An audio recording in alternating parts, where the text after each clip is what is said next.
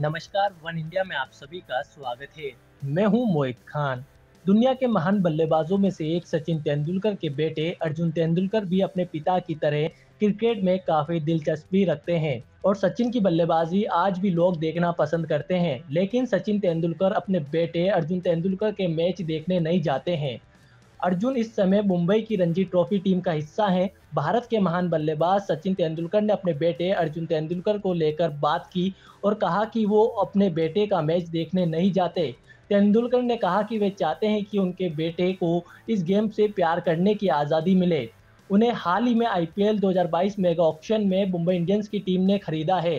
सचिन लंबे समय से मुंबई इंडियंस की टीम के साथ जुड़े हुए हैं। पहले वो एक खिलाड़ी के तौर पर खेला करते थे, फिर एक मेंटोर के तौर पर।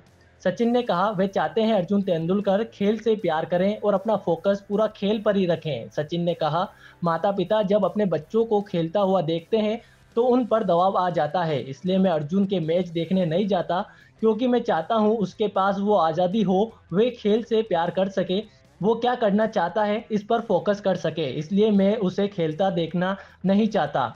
इसके अलावा सचिन तेंदुलकर ने यह भी कहा कि अगर वे कभी भी अपने बेटे का मुकाबला देखने जाएँगे तो वे छुप कर देखेंगे, जिससे अर्जुन को पता नहीं चले कि सचिन तेंदुलकर स्टेडियम में मौजूद हैं।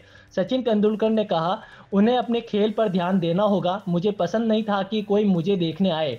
अगर मैं जाऊँगा तो छिप कर मैच देखूँगा। उससे पता नहीं चलेगा कि मैं वहाँ हूँ, ना किसी और को, ना ही अर्जुन तेंदुलकर को, ना ही कोच को, किसी को भी नहीं। अर्जुन तेंदुलकर ने हालाँकि अभी तक अपना फ़र्स्ट क्लास और लिस्ट ए डेब्यू नहीं किया है। वे मुंबई की टीम के अंडर 14, अंडर 16 और अंडर 19 टीम का हिस्सा रह चुके हैं।